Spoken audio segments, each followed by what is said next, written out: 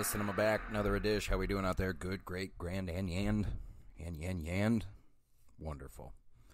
Take forty-two for this one because I'm the worst produced show in the business. As you see on your screen, your dial, however you're joining me today, I thank you, appreciate you. You know I do. You know I do.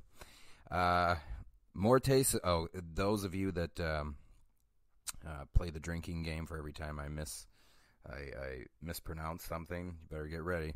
This one's gonna be you're gonna be hammered by the time this episode's over. Morte suspetta di una min- minorenne, minorenne. I am unclear.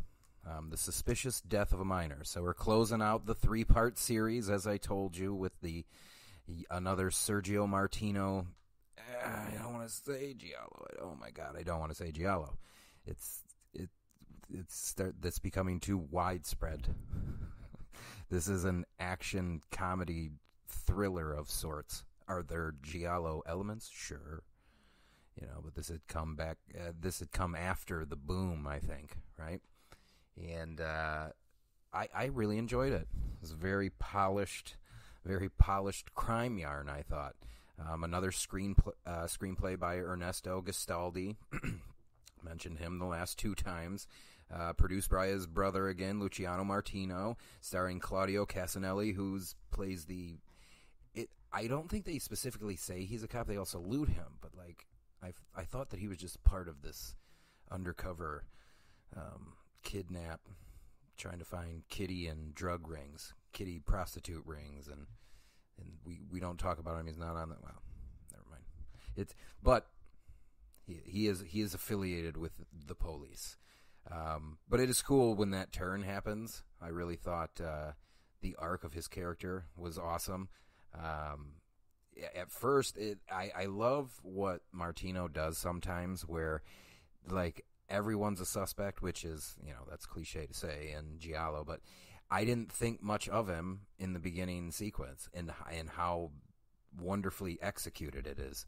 And then before you know it, it's like, oh shit, he's the main character because a um, Paolo, played by Claudio Cassinelli, and the mysterious Marissa meet each other at a dance hall. Germi is unaware of the secret Marissa carries with her. Adverse conditions in her life have forced her into prostitution. As Germi finds the young girl brutally murdered, he decides to go after the killers. During his investigation, he enters a world of intrigue and uh, leaves an endless trail of blood. Endless trail of blood. Uh, more in your face. Oh, actually, you know what? Not in your face. A much more subtle delivery with uh, Giancarlo's uh, uh, Giancarlo Ferrando's cinematography. Much more subtle than the last two, which kind of I oof. I mean, that we just overused some things. So if you listen to the last couple episodes, we just overused some things. You feel me? Um, in in the wake of the success of uh, Dario Argento's groundbreaking Giallo, The Bird with the Crystal Plumage, uh, numerous other directors step forward to try their hand in these lurid, lurid, lurid murder mysteries. At the forefront was Sergio Martino, third part series, or third and final, The Closer, whose sensual 70s thrillers starring Edwidge Fenech and George Hilton are widely celebrated as some of the best the genre has to offer the final of Martino's Six Gialli. It's an action comedy with a little, some thrillers, a thriller in Manila. But the suspicious death of a minor combines conventional giallo trappings with elements of the then flourishing uh, crime thrillers because we had we had gone away from the. Um, uh, spaghetti westerns and then kind of these trashy horror films. We were starting to get a, a little away from that, and we are kind of ushering a little bit maybe cleaner, more sophisticated plot. Um, and yes, way less trashiness in this one as opposed. This one's polished.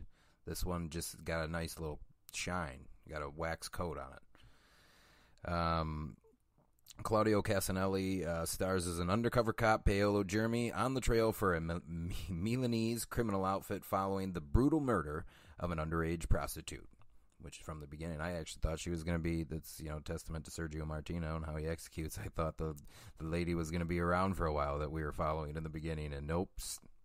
Instead, she becomes the heart of the investigation. Investigation. Oh no! If it's English, you have to. If if I keep fucking up the English, you have to drink twice. If I'm fucking up the Italian, you only have to drink once. Um. Anyway, he's uh, yeah after after the brutal murder of an underage prostitute. But a killer for hire is also on the prowl, bumping off witnesses before they have the chance to talk with his reflective sunglasses and his long blonde hair and his mad face throughout the entirety. It was well executed, actually. Uh, also starring Mel Ferrer from Nightmare City, Barbara Magnolfi, Barbara Magnolfi from Suspiria, and Jenny Tamburi from The Psychic, and featuring a script by, as said before, veteran Giallo writer Ernesto Gastaldi. The unique and lesser known entry in Martino's filmography serves an, as an essential link between two movements in Italian film pop culture. Yeah, it's so pop culturist. We had, like, you know, like I said, the Marvel Universe before it was a thing, where the characters, right before a knife fight, are watching a movie, and the movie is Your Vice is a locked room, and only I have the key. Some of you would say that that's shouldn't do that. Well, I say you're wrong. I say you're wrong. Um, from the jump on this one, I had a good time. Uh, it I love how I was hooked with uh, the score by uh, Luciano Michelini. Yeah, Luciano Michelini, not Bruno uh, Nicolai from the last two. Uh, Luciano Michelini. Um, his score is playing like this girl that I thought was going to be the lead. The score is playing, and uh, you can't hear the conversation because the score is playing um, so loud. But it's clearly an argument, an argument between her and an old man, an older man, and we begin our descent into darkness where she gets her throat cut. Now we got to find out why. Who? Who going to do it? Who did it? Who does it? Um, I the comedic elements in this, like the broken glasses, I thought they worked. Even even when it was kind of after like an oh shit scene. So our uh, main character uh, wears glasses. Uh, Claudio Cassinelli, who plays Paolo, Paolo uh, wears glasses Actually, who else we got this? Uh, Mel Ferrer as the police superintendent. Lia Tanzi as Carmela. Gia, uh, Gianfranco's Bar, uh, Gianfranco Barra as Teti. Patrizia Castaldi as Marissa. She gets bumped off in the very striking woman. Um, a great character, Adolfo Caruso, who plays Giannino. Uh, the cop, so uh, Paolo and Giannino actually become friends, even though he's a thief he's a goddamn thief. In fact, he picked off one of the uh, other police inspector's uh, wallet and bag earlier in the film, and then they become friends on the case, and he's helping him out. And it, I actually thought underrated performance by uh, uh, Hamana, Hamana, Hamana, Adolfo Caruso.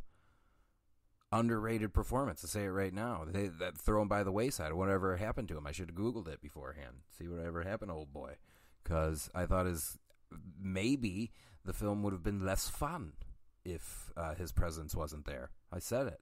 I said it. Even, dude, this is gonna be kind of spoiler, just because I one of the most off guard moments I've been uh, been in, in in, film uh, the last I don't know few months, where I was like, oh shit, um, Adolfo Spoiler alert! Uh, spoiler alert! spoiler alert! Uh, he is uh, riding out on his moped, his Vespa. With this is towards the end of the film too. Uh, no, I shouldn't do it. Nope. He pulls back the reins. a Vespa riding with a girl.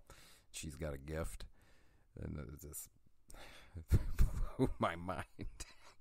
I, was just like, "Hey, whoa, wait a minute," because you know sometimes, like like I was, uh, I think I said in the past episode, I'm watching these back to back to back, right? And as I aforementioned, I'd uh, made the mistake of doing Twin Peaks. Uh, I watched Twin Peaks like I don't know. It had to have been close to like two months straight. I, I had never seen the series before. Got the fucking deluxe box set, whatever the snore, and start to finish, watch it, and that included the the movie and everything. And you just can't do that to your brain. And that's to say, so with this, um, you know, this is three giallos back to back to back. Um, I don't know where I was going with this. I I wasn't uh, I wasn't uh, upset at the end of it. I went and this is, I like the uh, the old school when you just end things when it's definitively should end and then you do like a freeze frame. That's old school fucking where you just go, "Yep, it's fucking tied up." And freeze frame, we're out of here. Even though there was a couple of scenes that I may have cut just a little bit, like uh, the high speed car chase through the streets was a little ridiculous. And as everybody knows, I am not a big fan of car chases to begin with. I just I don't give. I'm much more into hand to hand combat and maybe some cool gun violence. But it's getting to the point now where it's. Yeah, I mean, I'm not saying that a film can't have it. That's not what I'm saying at all. But um, as far as like wowing me, like it doesn't. It does. I, I'm way more. Oh, look at that! Fucking because you know if you're doing hand to hand, it's more real life. I fucking a Porsche is fucking doing a Bill 50, dodging fucking giant pipes falling off the back of a semi and shit. I just, I, I, I meh. So maybe I'm biased going into that. And, and back in the day, like maybe I should, you know what I should. So let's walk it back a little bit. uh, I should respect the uh, craziness of the stuntmen back in the day because I know for I think he actually uh, Sergio Martinez says Martino, dude, get it right. Martino says in the uh, bonus features uh, for this one, he's just like, yeah, we filmed a lot of those action sequences just very unsafely. One of the drivers may or may not have been drunk. People are, in fact, in fact, um, Claudio Cassinelli actually died in one of Sergio Martino's films, like like died real life um, in a helicopter stunt that they were doing. The helicopter pilot was supposed to go under the bridge and fucked up, and they crashed into the bridge and fucking died on on set. Just, whew. and you could tell uh, Sergio just definitely didn't want to talk about that in the bonus features, and I don't fucking blame him. I don't fucking blame him. Why would you want to relive that shit? And I'm sure plenty of people held you responsible. You're responsible for everything. Responsible for everything. Let's take a peek at what do we got? The serve the serving plot line begins with a frizzy-haired young hooker being stalked during and after a wedding celebration by a sinister man in sunglasses who eventually catches up to her at her apartment, where he slashes her throat. Her presence has been noticed earlier by Inspector Germi, a not-by-the-book undercover cop who teams up with a sly thief to track both the vicious murderer and, and instigators of a widespread kitty and drug dealing uh, drug dealing ring.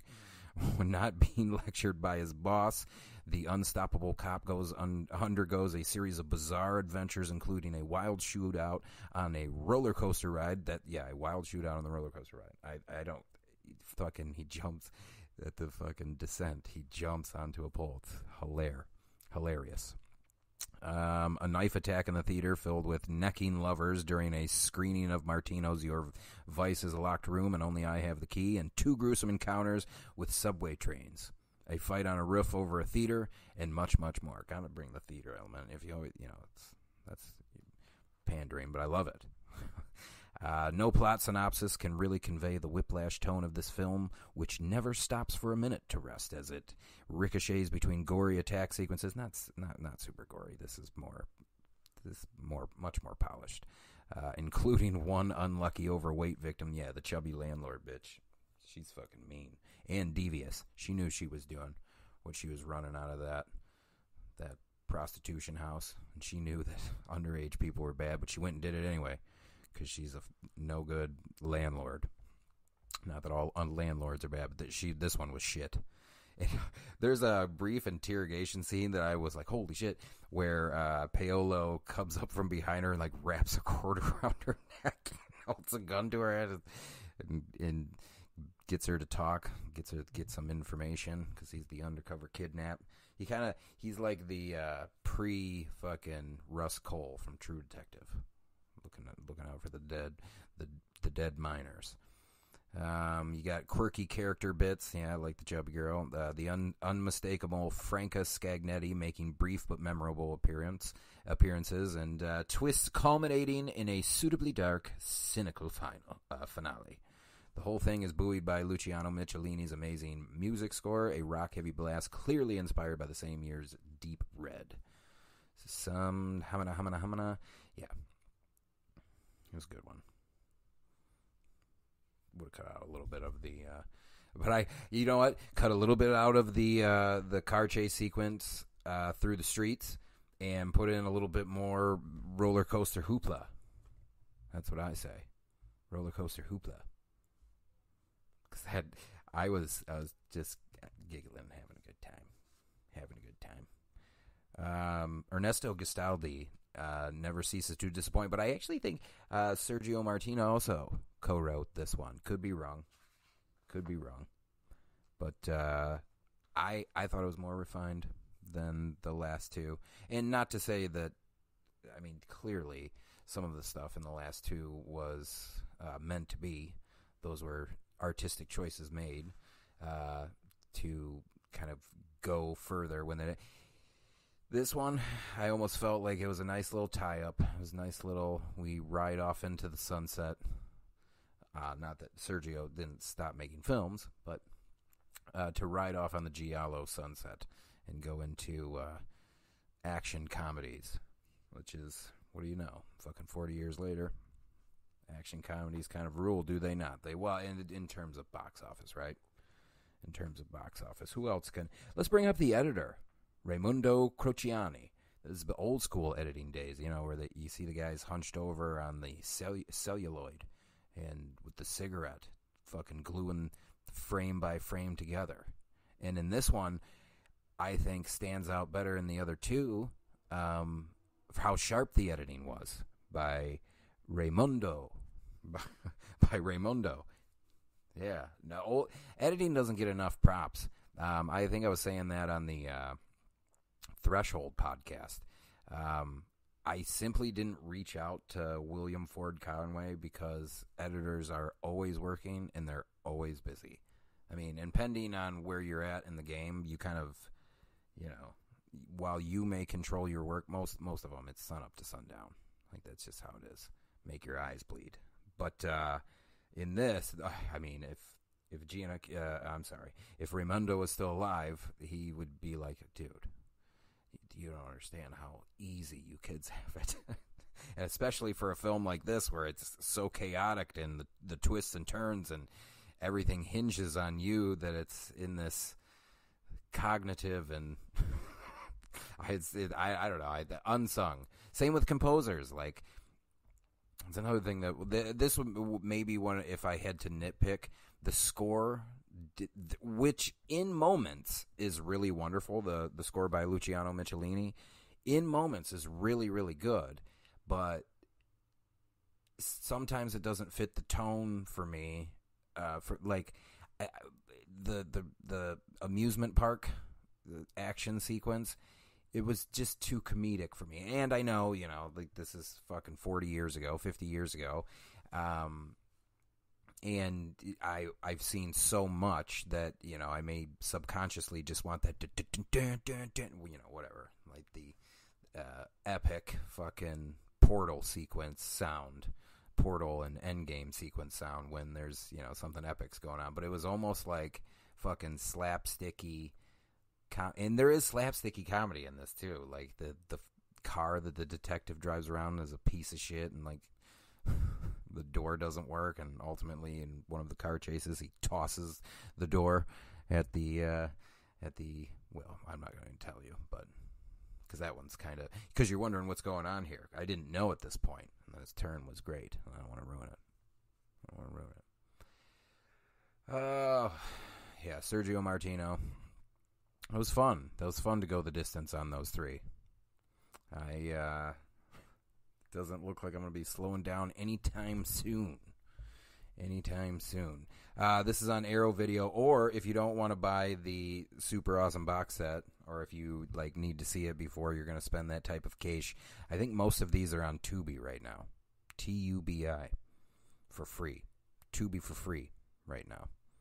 So if nothing else, stream these. But Arrow Videos released with all the bonus features that I told you. I mean, fucking Your Vice had so many, and I mean, if you got Eli Roth on a on a uh, featurette, you know it's dope. You know it's dope. Oh, I don't want to do this anymore. I don't want to do it. Ellissinema. The Sergio Martino collection comes to a close on the, the third final installment. Arrow video release. You can get it right now. Ella Cinema. Arrow video. Let go.